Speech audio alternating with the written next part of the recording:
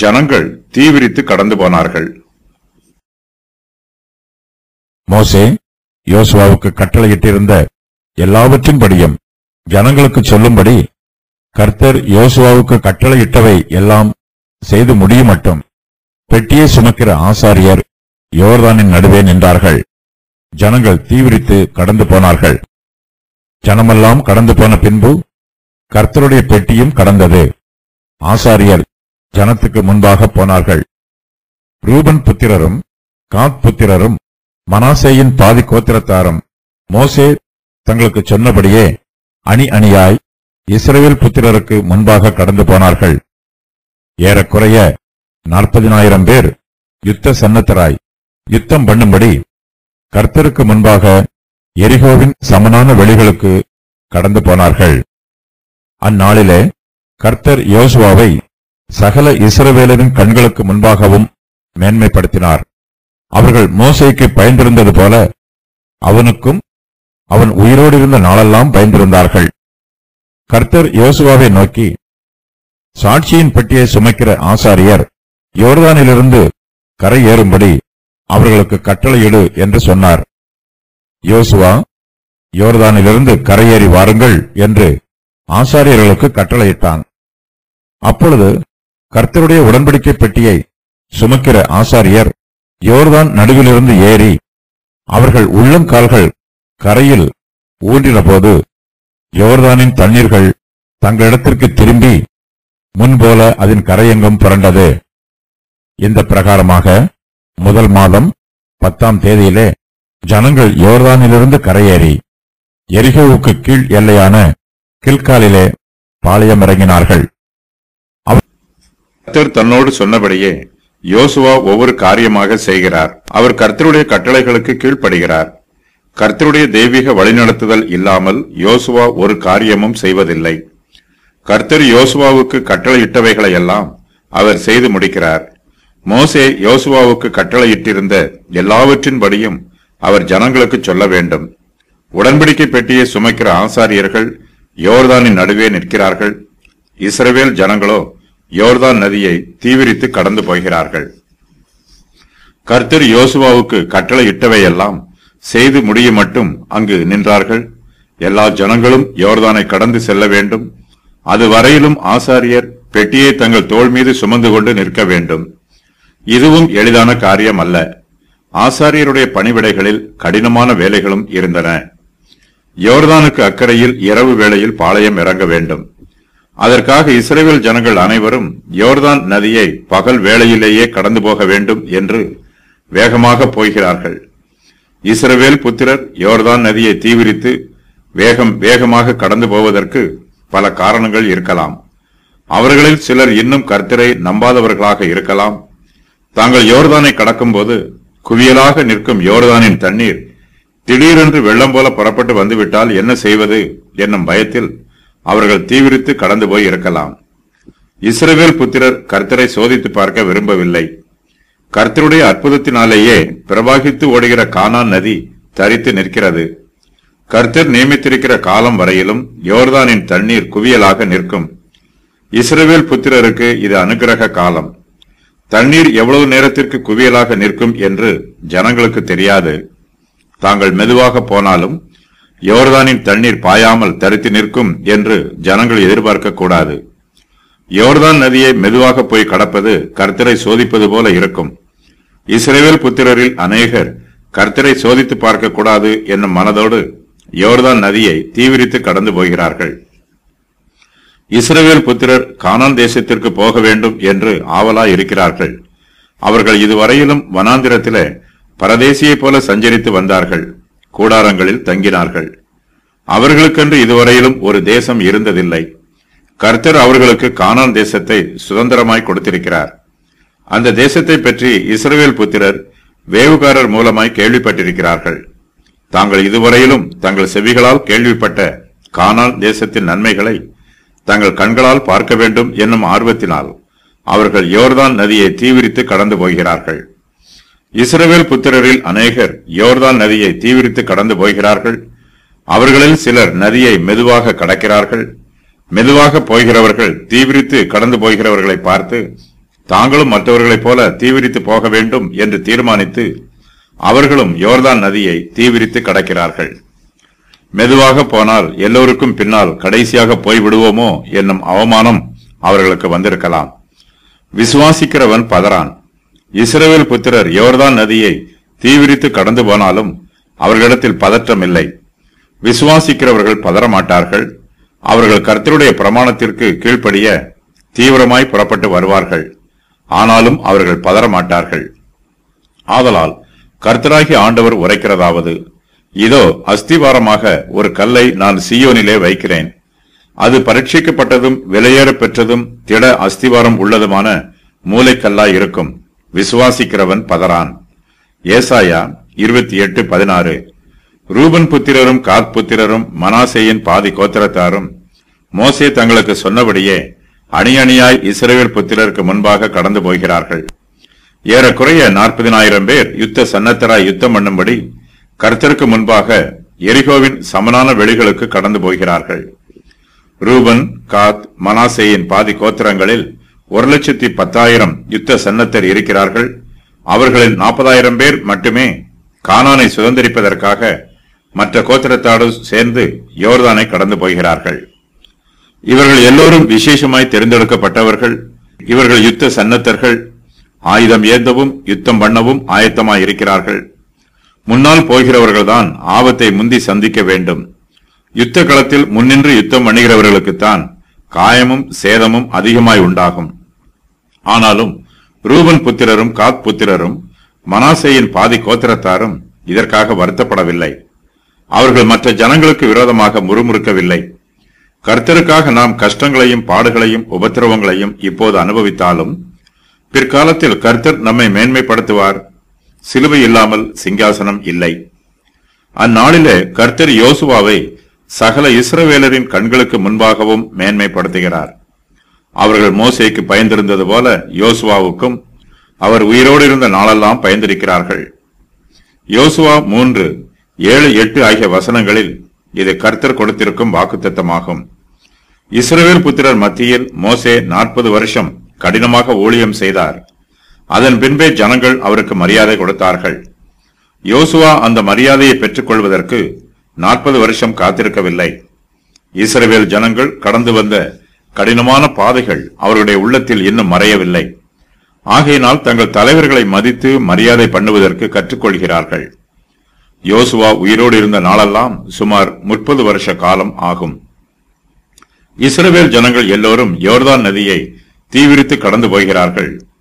உடன்படிக்கை பெட்டியை சுமக்கிற ஆசாரியர்களோ யோர்தானுக்கு நடுவிலே நிற்கிறார்கள்.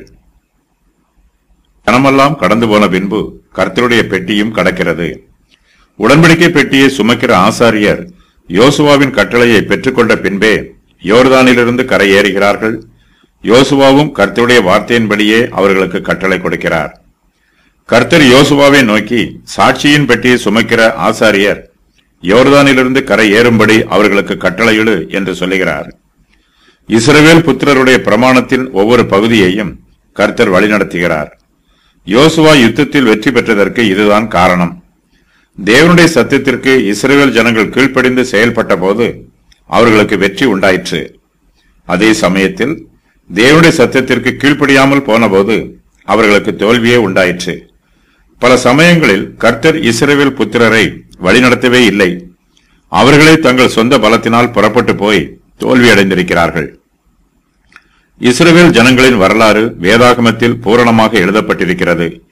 நம்மை உற்சாகப்படுத்துவதற்கும் நம்மை எச்சரிப்பதற்கும் இவை எழுதப்பட்டிருக்கிறது. தேவனுடைய பிள்ளைகள் பரிசுத்த ஆவியானவரால் வழிநடத்தப்பட வேண்டும். பரிசுத்த ஆவிக்குள் ஜீவித்து அவருக்குள் நடக்க வேண்டும். கர்த்தருடைய வார்த்தையை தியானித்து அதற்கு கீழ்ப்படிய வேண்டும். இதன் மூலமாகவே நமது ஆவிக்குரிய ஜீவியத்தில் ஜெயம் உண்டாகும்.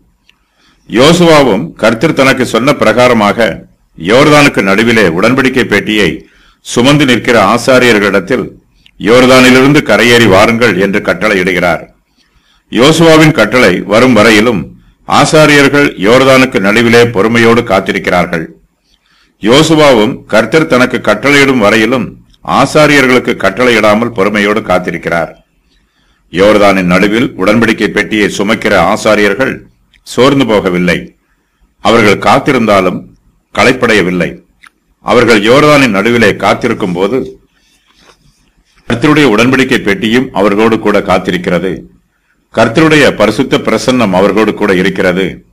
கர்த்தருக்கு பிரியமான வேளையிலே ஆசாரியர்கள் யோர்தான் நதியிலிருந்து கடந்து வர ஆயத்தமாய் இருக்கிறார்கள்.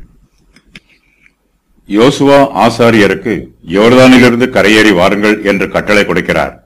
அப்பொழுது கர்த்தருடைய உடன்படிக்கை பெட்டியை சுமக்கிற ஆசாரியர் யோர்தான் நடுவிலிருந்து ஏறி அவர்கள் உள்ளங்கால்கள் கரையில் ஊன்றின போது யோர்தானின் தண்ணீர்கள் அவர்களிடத்திற்கு திரும்பி முன்போல அதன் கரையெங்கும் புரளுகிறது. யோர்தான் நதி நின்று போனது ஒரு அற்புதம். யோர்தானின் தண்ணீர்கள் தங்களிடத்திற்கு திரும்பி முன்போல அதன் கரையெங்கும் புரண்டு போனது மற்றொரு அற்புதம். ஆசாரியருடைய உள்ளங்கால் யோர்தானுடைய தண்ணீரில் பட்டபோது யோர்தான் வற்றி போயிற்று. அவர்களுடைய உள்ளங்கால் கரையில் ஊன்றின போது தண்ணீர் மறுபடியும் புரண்டு ஓடிற்று. ஒரு நாள் முழுவதுமாக தண்ணீர் ஓடாமல் அதே இடத்தில் குவியலாக நின்றது. யோர்தானின் தண்ணீர் இதுவரையிலும் குவியலாக குவிந்து நின்றது. ஆசாரியருடைய உள்ளங்கால்கள் கரையில் ஊன்றின போது இதுவரையிலும் குவிந்து நின்ற தண்ணீர் முன்பு போல அதன் கரையெங்கும் புரண்டு ஓடுகிறது. இதுவரையிலும் தேவனுடைய தெய்வீக பிரமாணத்திற்கு கீழ்ப்படிந்த யோர்தான் நதி இப்போது இயற்கையின் பிரமாணத்திற்கு கீழ்ப்படுகிறது. யோர்தான் நதி இஸ்ரேல் புத்திரருக்கு ஆதரவாய் இருக்கிறது அவர்கள் யோர்தான் நதியை கடந்து போகும் வரையிலும் நதியின் தண்ணீரானது குவிந்து நின்று அவர்களுக்கு வழியை விலக்கி கொடுத்தது. இஸ்ரவேல் ஜனங்கள் யோர்தானின் கட்டாந்தரை வழியாக கடந்து போனார்கள். இஸ்ரவேல் புத்திரருக்கு சகாயம் செய்த பின்பு கர்த்தருடைய பிரசன்னமும் யோர்தானின் நடுவிலிருந்து விலகிக் கொள்ளப்பட்ட பின்பு யோர்தானின் தண்ணீர்கள் தங்களிடத்திற்கு திரும்புகிறது. தரித்து நின்ற தண்ணீர் முன்போல அதன் கரையெங்கும் புரண்டு ஓடுகிறது. குவிந்து நின்ற தண்ணீர் பாய்ந்து பிரவாகித்து ஓடுகிறது. கர்த்தருடைய கிருபையினாலேயே இந்த அற்புதம் நடைபெறுகிறது. கர்த்தர் இந்த அற்புதம் நடைபெறுகிற நாளிலே யோசுவாவை சகல இஸ்ரவேலரின் கண்களுக்கு முன்பாக மேன்மைப்படுத்துகிறார். கர்த்தர் யோசுவாவோடு ஐக்கியமாய் இருக்கிறார். கர்த்தர் ஆசாரியர் மீதும் ஜனங்கள் மீதும் யோசுவாவுக்கு அதிகாரம் கொடுக்கிறார். ஜனங்கள் இதுவரையிலும் மோசைக்கு பயந்திருந்தது போல இனிமேல் யோசுவா உயிரோடு இருக்கும் நாள் வரையிலும் அவருக்கு பயந்திருப்பார்கள். யோசுவா இஸ்ரேல் ஜனங்களை தன்னுடைய பலத்தினாலும் பராக்கிரமத்தினாலும் அதிகாரத்தினாலும் அடக்கி ஆளவில்லை. ஜனங்களை பயமுறுத்தவில்லை. யோசுவா இஸ்ரேல் ஜனங்களை அன்பினாலும் பரிசுத்தத்தினாலும் ஆளுகை செய்கிறார். இஸ்ரேல் புத்திரர் யோசுவாவுக்கு முன்பாக பயந்திருக்கிறார்கள். இந்த பயம் சரீர பிரகாரமான பயமோ அல்லது உலக பிரகாரமான பயமோ அல்ல. இது பரிசுத்தமான ஆவிக்குரிய பயம். இஸ்ரவேல் ஜனங்கள் யோசுவாவின் பரிசுத்தையும் அன்பையும் அங்கீகரித்து அவருக்கு பயந்திருக்கிறார்கள். யோசுவா இஸ்ரவேல் ஜனங்களுடைய நன்மையை நாடுகிறார். அவருடைய நல்வாழ்வுக்காக பாடுபடுகிறார். அவர் இஸ்ரவேல் ஜனங்களுக்கு மதிப்பும் மரியாதையும் கொடுக்கிறார். கர்த்தர் இஸ்ரவேல் புத்திரரை நேசிப்பது போலவே யோசுவாவும் அவர்களை நேசிக்கிறார். அதனாலே கர்த்தர் யோசுவாவை சகல இஸ்ரவேலரின் கண்களுக்கு முன்பாகவும் மேன்மைப்படுத்துகிறார். பரிசுத்தமாக்கப்பட்டவர்கள் மெய்யாகவே மேன்மைப்படுத்தப்படுவார்கள். பரிசுத்தவான்கள் இரட்டிப்பான கணத்திற்கும் மேன்மைக்கும் பாத்திரவான்களாய் இருப்பார்கள். கர்த்தர் யோர்தான் நதியிலே செய்த அற்புதம் எப்பொழுது நடைபெற்றது என்னும் சரித்திர குறிப்பு இங்கு சொல்லப்பட்டிருக்கிறது. இந்த பிரகாரமாக முதல் மாதம் பத்தாம் தேதியிலே ஜனங்கள் யோர்தானிலிருந்து கரையேறி எரிகோவுக்கு கீழ் எல்லையான கில்காலிலே பாளையம் இறங்கினார்கள் என்று எழுதப்பட்டிருக்கிறது. முதல் மாதம் பத்தாம் தேதியிலே என்பது இஸ்ரேவேல் ஜனங்கள் யோர்தானை கடந்து சென்ற நாளாகும். இந்த மாதத்தின் முதல் நாளில் மோசே மறித்து போனார். அவர் மறித்து ஒன்பது நாட்களுக்கு பின்பு இந்த நிகழ்ச்சி நடைபெறுகிறது. இஸ்ரவேல் புத்திரர் மோசையின் மரணத்திற்காக முப்பது நாட்களுக்கு துக்கம் கொண்டாடினார்கள். அந்த துக்க நாட்களில் அவர்கள் யோர்தானை கடந்தார்கள். துக்க நாட்களில் இஸ்ரேவேல் ஜனங்களுடைய அன்றாட காரியங்கள் தடைபடவில்லை. எரிகோவிற்கு இரண்டு வேவுகாரர்களை அனுப்பிய நிகழ்ச்சியும் இந்த காலத்தில்தான் நடைபெறுகிறது. முதல் மாதம் பதினைந்தாம் தேதி வந்துவிட்டால் இஸ்ரேல் புத்திரர் எகிப்து தேசத்தை விட்டு வெளியேறி நாற்பது வருஷங்கள் முழுமையாய் நிறைவு பெற்றிருக்கும். இஸ்ரேல் புத்திரர் எகிப்தின் அடிமைத்தனத்திலிருந்து விடுவிக்கப்பட்டு நாற்பது வருஷங்களுக்கு பின்பு கில்காலிலே பாளையம் இறங்குகிறார்கள். நாற்பது வருஷம் முடிய இன்னும் ஐந்து நாட்கள் இருக்கிறது. இஸ்ரேல் ஜனங்கள் ஐந்து நாட்களுக்கு முன்பாகவே கானான் தேசத்தின் எல்லையில் பாளையம் இறங்குகிறார்கள். கர்த்தருடைய கோபத்தினால் இஸ்ரவேல் புத்திரர் நாற்பது வருஷங்களாக வனாந்திரத்திலே அலைந்து திரிந்தார்கள். நாற்பது வருஷங்களுக்கு பின்பு கர்த்தர் அவர்களை கானான் தேசத்திற்கு அழைத்து வர வேண்டும். கர்த்தரோ தமது பெரிதான அன்பினால் நாற்பது வருஷங்கள் முடிவதற்கு ஐந்து நாட்களுக்கு முன்பாகவே அவர்களை கானான் தேசத்திற்கு அழைத்து வருகிறார். கர்த்தருடைய கோபம் சீக்கிரத்தில் முடிந்து விடுகிறது. பாவிகளை தண்டிப்பதில் கர்த்தருக்கு பிரியமில்லை. பாவிகள் அழிந்து போவதும் கர்த்தருக்கு பிரியமான காரியம் அல்ல. பாவிகள் மனம் திரும்ப வேண்டும். கர்த்தர் தம்முடைய கிருபையையும் இரக்கத்தையும் அவர்களுக்கு காண்பிக்க வேண்டும். இதுவே கர்த்தருக்கு பிரியம். இஸ்ரவேல் புத்திரர் எகிப்து தேசத்திலிருந்து விடுவிக்கப்பட்டு வெளியேறிய அந்த ராத்திரியில முதலாவது பஸ்காவை ஆசரித்தார்கள். நாற்பது வருஷங்களுக்கு பின்பு அந்த பஸ்காவை ஆசரிக்க வேண்டிய நாளுக்கு நாலு நாளைக்கு முன்பாகவே அவர்கள் கானான் தேசத்திற்குள் பிரவேசிக்கிறார்கள். இஸ்ரேல் புத்திரர் எகிப்து தேசத்திலே பஸ்காவை ஆசரிப்பதற்கு தங்களை ஆயத்தம் பண்ணின நாளிலே அவர்கள் கானான் தேசத்திற்குள் பிரவேசிக்கிறார்கள். நீங்கள் இஸ்ரவேல் சபையார் யாவரையும் நோக்கி இந்த மாதம் பத்தாம் தேதியில் வீட்டு தலைவர்கள் வீட்டுக்கு ஒரு ஆட்டுக்குட்டியாக ஒவ்வொருவரும் ஒவ்வொரு ஆட்டுக்குட்டியை தெரிந்து கொள்ள கடவர்கள். யாத்திராகமம் பன்னிரண்டு மூன்று. இஸ்ரவேலின் தேவனாகிய கர்த்தரே இஸ்ரவேல் புத்திரரை எகிப்தின் அடிமைத்தனத்திலிருந்து விடுதலை பண்ணினார். கர்த்தர் தங்களுடைய முற்பிதாக்களுக்கு செய்த நன்மைகளை இஸ்ரவேல் வம்சத்தார் மறந்துவிடக்கூடாது. கர்த்தர் தங்களுக்கு காண்பித்த கிருபைகளையும் இரக்கங்களையும் அவர்கள் நினைவில் வைத்திருக்க வேண்டும்.